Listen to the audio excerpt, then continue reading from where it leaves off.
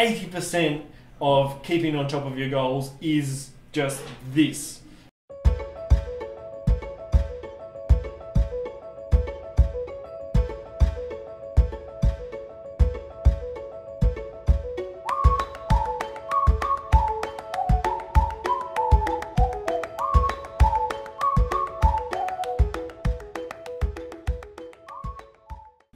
Episode 8. So, this is going to be a continuation of episode 7. So, we're continuing with the goal setting theme. Not every episode will be about goal setting moving forwards, but it's just these two episodes are sort of linked together. So, so what we're going to do is is hopefully you've followed that episode and you've set your goals now, or you've come up with some meaningful goals. And now I'm going to show you how I actually track that and keep on top of it. Okay, so I'm in Google Docs at the moment. So if you don't have Google Docs, I highly recommend setting that up. Uh, we'll have, if you follow the link and go through to the blog, uh, we'll have a, a, description there about how to do that. Um, yeah, so just follow that. Uh, and I will also provide a link to this exact document. So it will give you access to this so you can swipe it. Um, so I've actually got two tabs here. So this is an example which I'm running through today. And then this is your 2020 goals here, which is blank. So you can fill in all your own information in here. Uh, just don't do it actually in this document. Um, go, go up to File and say New New Spreadsheet, and then that will create your own spreadsheet. And then come into the corner here and right click and say Copy, or you can do Control C and then paste it into your own document because there'll be a lot of people looking at this exact version and if you make changes to this, then everyone will see those changes. So try and avoid that if you can. Okay, coming back over here. So this is basically how I format my, my goal uh, tracking. So up the top here, I've split mine over business, family, and personal. I try and be balanced. You could be different. You can have all personal, you can have all family, whatever. Um, there may not even be a, a pillar cl- classification in there. So you can remove that or delete it if you want. Um, and, and just you know don't feel like you have to keep it the way it is this is just the way I do it so you can edit it however you like uh, so then under here I list the core values which hopefully you've determined from the, the exercise in the last episode um, it's just good to just have them there as a reminder it just sort of helps keep me on track sometimes throughout the year I have difficult decisions to make and to be honest sometimes it's like you know path A or path B I, I look at my core values, and that sort of helps me decide which path to go down. Um, so it's always good to have those handy. Here I have reminders. So this is like anything that you think is like maybe a quote that's going to help you achieve your goals, or maybe you've you know failed your goals for a few weeks and you you think of a reminder um, to to get you back on track or whatever it is. So for me right now, and this changes. You know, I, I delete this and add something new in occasionally. Um, but for right now, uh, what are you doing on a regular basis which is not aligned with your goals? And this sort of links to another quote that I heard, which I absolutely love, which is happiness is the absence of unhappiness. So don't add things, remove what makes you unhappy. And I think we tend to just always adding new things, new ideas, new goals, you know, always adding to our lives. And it's really important to just take time and reflect and actually take things out of your life as well. Take things out that are, you know, maybe it's a really negative friend. Um, it can be all sorts of stuff. It's just removing things from your life that make you unhappy. Uh, it's a, it can be a game changer. Okay, so moving on. Then I list the goal. So this is sort of like the overall. This is what I'm trying to achieve. So for me in the business, it's a, an entrepreneur's journey, one episode each month. For family, it's be clear on what makes us happy and act on it. So basically planning ahead. And for personal, it's for me to go back to Toastmasters on a regular basis. Now, that isn't really good enough as a goal. Like, that is what I'm trying to achieve, but you need to get much more specific on it as well to know whether you've achieved that or not. Um, because you you know when you when you're dealing with goals, you don't want anything to be sort of oh did I achieve that or did I really like it has to be super specific. So there's no if or buts. You just know whether you've achieved it or not. So my specific action to do with the journey episode is not just to do one episode per month, but the real goal is to to spend 30 minutes either shooting or planning per week. And I can't stress enough how important it is to have to, to look at this and have like break your goals into a per week or even a per day basis. Um, you, you might have things that you sort of uh, what, what uh, mistakes that I've made in the past have been you know okay so my, my goal is to have one episode per month so I was only checking in on it once a month and I'd get to the end of the month and be like oh I forgot to do that um, oh geez I, I failed it for another month now so it's really important to break it down into smaller chunks that you're checking regularly and then you know whether you're on track or not. So that's the goal for the business. For the family, uh, it, it's family planning meeting between 5.30 and 6 p.m. on Tuesdays. So it can't get any more specific than that. That is our meeting time. And there we're going to fa- uh, plan um, just anything to do with Lewis, uh, you know, financials. We're going to discuss all these things during that meeting. And for personal, the goal is 100% attendance on the first and the third Thursday of every month, which is when that Toastmasters class is held. Uh, it's between 7.30 and 9.30, and that's unless I'm traveling. Like if I'm interstate or something, then, you know, that's not a, a fail. That's just some things are unavoidable. But it's good to be clear on those things from the beginning. You know, um, something which is a grey area currently with this is what if I'm sick? So a way around that is you could actually write in there. Uh, if I'm sick enough not to go, then I have to get a doctor's certificate for that. It can't just be, oh, I've got a sniffly nose, so uh, that'll pass. So thinking of these things ahead really helps um, later on down the track.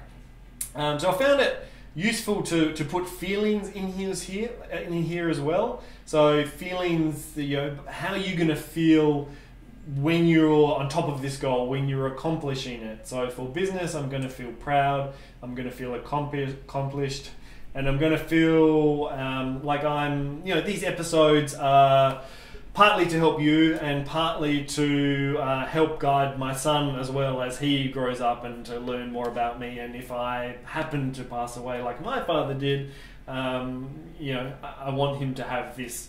Um, so, so you know, these can be quite powerful listing these feelings and can help keep you on track. Um, you know, when you go off off track, which you will, no doubt, it happens to all of us. Um, for family, um, I feel loved, appreciated, and again, Wolfpack. I've said that a few times. That's just you know a tight family. We you know nothing penetrates us. We are a unit together, and and we're strong together. That's that's what I think of when I say Wolfpack.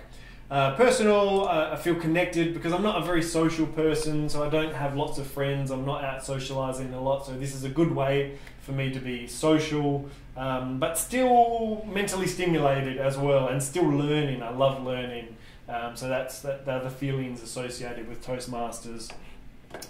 Uh, in this line here, which is resources, so this might just be any links to any articles, or here I've got the Toastmasters website, which I can look things up. Uh, for family, I have the, the agenda for our meeting in Asana, so it's just just putting that in there. So any links, any resources which are going to help you um, to achieve your goal. So when I'm filming this, I haven't actually done anything yet, but I just thought I'd give you some examples of the way that I track this on a weekly basis. Um, and again, like I'll, I'll, give you some tools later, um, but set like a specific time to check this once a week or, or once a day or, or whatever it might be, um, even as going as far as setting alarms on your phone to remind you to check it because it's so easy to just get caught up in life and and forget to check in on this. I've done it myself, you know, so many times. It's just oh my goal thing. I, haven't looked at it in two months. Yeah, yeah, and it's just impossible to achieve your goals if if that's uh, how you're living. So for business, um, I would put in, you know, so for each week here, I'll check in. And so this would be at the end of the week for the past week, I would enter this in. And so I'd say, okay, 30 minutes planning done, and, and have specifically on the date that it was done. And then, okay, so 30 minutes of shooting was done on that specific date. And if I were to miss that on a particular week, I would write the reason why I missed that goal. And that's really important because if you start to see the same thing come up a few times and there's a pattern and there's something that you have to change when you recognize that pattern. So something that happens to me sometimes is I miss a goal, basically just due to lack of discipline, um, because there's other work that I just felt like doing instead of doing what I needed to do. So uh, it's important to, to write that in there. And so I just, you know, when I'm doing it, I give it a green. This would be a red, so I failed that particular uh, week. It doesn't mean I failed the goal overall, um, but it, it's good to just, you know, make note of the weeks that you do fail. And then all good one hour shooting done on the 28th of the 1st. So, so that basically gives a rundown of my business goal, of my family goal. So I'm just going to write done on the 7th of the 1st. So we had our, our family planning meeting. Um, in this situation, we missed it on that exact time, so that 5.30 to 6 on Tuesdays. Uh, we didn't hold it then, but we still did have it. So I'm writing that it was moved to Thursday, the 16th of the 1st. Um, again, it's just for pattern recognition. So I didn't fail it, we still did it, but we just didn't do it at the time that we thought we were going to do it or planning to do it. And again, if you notice that you know that happens three or four times, then it's like, oh, maybe we need to rethink about the time that we're we're setting for this. Maybe that's not a good time to do it. Um, so that's that's basically the color scheme of that. You know, you can include orange on there as a bit of a warning. Um, and then over here for my personal, so the first week back, um, when they would usually have it been the first Thursday of the month, because of Christmas, they closed down. So I just make note of, of that. Um, because they only have the class twice a month, and there are going to be weeks that are just not applicable, and that's fine. Just don't put a color in it. Just put NA, and then again a green if I've if I've done it. Um, there will be no orange for this because it's either I've done it or I haven't. Um, so basically be, be green or red. Um, so uh, I hope that helps you, give you some structure around um, tracking your goals. Now, it's really, really important that you get this in front of you basically daily. So what I do, and I do this through Chrome, which is my browser, um, but you can do it through others as well, whether you have Firefox or whatever it might be. So I'll show you this feature in Chrome, and then um, and then I'll talk about how you can do it in other browsers if you use other browsers. But I would almost recommend moving across to Chrome um, because it's great, it's good, and um, I'll show you exactly how to do it in here. But it basically every time I open up Chrome, it opens all these tabs automatically, like whatever I want to see on a daily basis. So if I close this down now, actually I want to save that. Uh, so if I close everything down now, so that's gone, and say in the morning you wake up or whatever, you open Chrome, then see all these tabs are automatically open, and I've set that in Chrome. That's what I want to happen in there. So how you do that is, uh, so so open the tabs that you want in there, and then come across to these three little dots, and come down to settings and then down here, scroll down, and it says on startup. And then what you want to do is say use current pages, and if you click that button, then just whatever is open at that stage, then that will open every single time that you open Chrome, then that's going to bring all those up. So it's really important that this goal setting, uh, goal tracking document is included in there because you really want to be seeing that every single day um, even if you don't have something to write in there every day, so I'm only actually putting things in this once a week, but I'll still look at it every single day because it just mentally prepares me for okay Thursday. You know, it might be Monday, Tuesday, Wednesday. I'm, I'm constantly in my mind. Thursday, I'm going to Toastmasters. I'm not going to make any plans on Thursday which are going to potentially jeopardize that. So, um, really important. I, seriously, I would say that this is 80% of keeping on top of your goals is just this. It's just looking at this every single day, and if you do that, you really it, it's it's almost impossible to, to fail your goals. To be honest, um, the, the biggest thing that I see, the biggest failure of people, is just forgetting to look at this and track this. Um, uh, also, just to give you an idea, like me tracking this and doing these goals, I've calculated that it's about two hours a week on average. So yes, this is Toastmasters is two hours um, once every fortnight, so that averages to an hour a week. Uh, so you know. It, it's quite a simple thing to do. It's it's your goals don't have to be this big, massive thing that you have to accomplish. Um, it really is for me. It's just just having these these set things that I'm just chipping away at, and and you can do the same. Like if you can't find two hours in your week to do this, there's something seriously wrong, and you have to really reflect and and, and work out you know what you need to change in your life.